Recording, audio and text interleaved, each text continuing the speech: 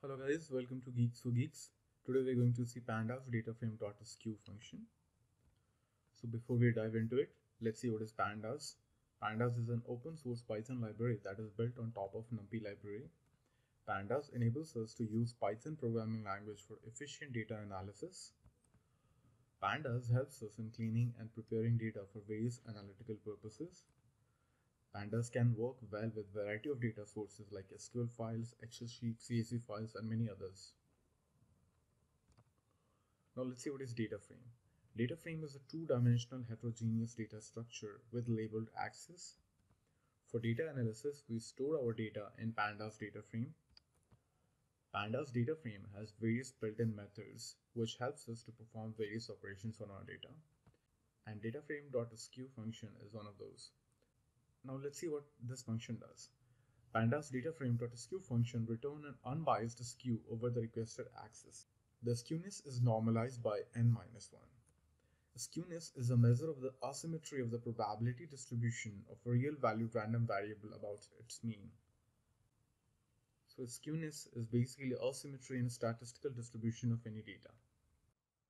Hi guys, so now we're going to see the implementation of dataframe.skew function. I'm using Jupyter Notebook to execute my Python programs. If you're using any of the platform or tools, it is fine.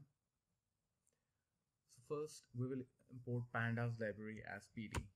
We are using a CSV file here. If you want access to this CSV file, refer to the Geeks for Geeks article on dataframe.skew function. The link is mentioned here. I'm gonna go ahead and import this file and read it into a data frame. Let's visualize the data frame. So this is what our data frame looks like. It has 458 rows and 9 columns. Now we'll find the skewness along the index axis. So I'm just going to go ahead and run this line. So as you can see, for each numerical columns in the data frame, the function has found its skewness. Skewness is nothing but the asymmetry in a statistical distribution of the data. Now we can also find skewness along the rows. And also we're going to skip any missing values along the rows. So I'm just going to go ahead and run this line. So as you can see, the function has returned the skewness for each row. Thank you for watching. Please leave us your likes and comments.